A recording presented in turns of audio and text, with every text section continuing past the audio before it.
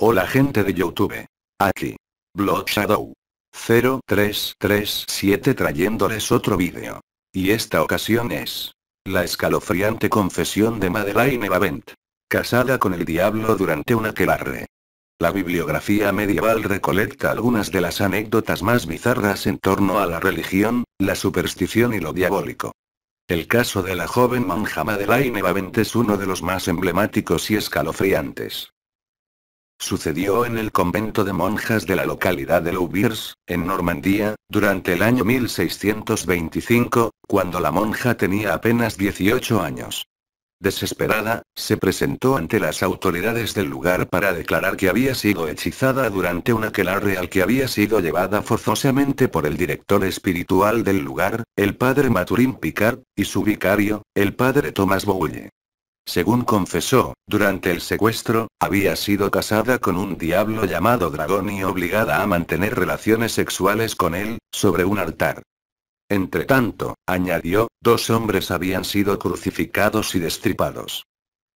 Tras la apertura de una exhaustiva investigación, otras dos monjas confesaron haber sido víctimas de los dos sacerdotes, que también las llevaron a distintos aquelarres en donde mantuvieron relaciones sexuales con varios demonios.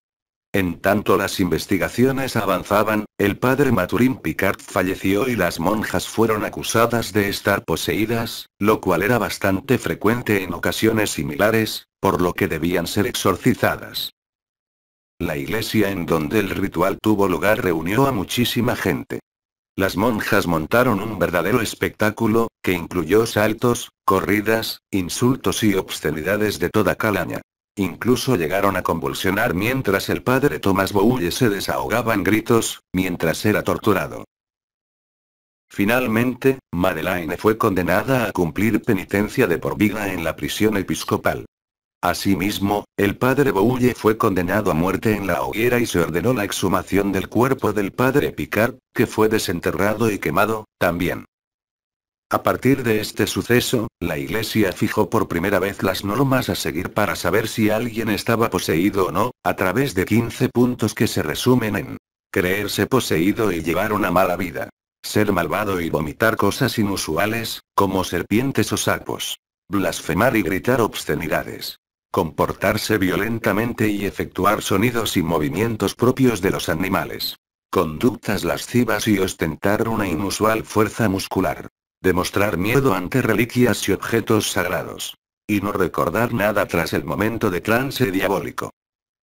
El aquelarre o sabbat es la forma genérica de denominar a la agrupación o reunión de brujas y brujos para la realización de rituales y hechizos, bien como creencia religiosa precristiana o neopagana, o bien aceptado en escritos cristianos como actos de invocación y adoración a Lucifer. Dime qué opinas sobre este tema en los comentarios. Si te agradó el vídeo, no olvides de dejar tu me gusta. No olvides compartir. Y suscribirte. Hasta la próxima amigos del ocultismo.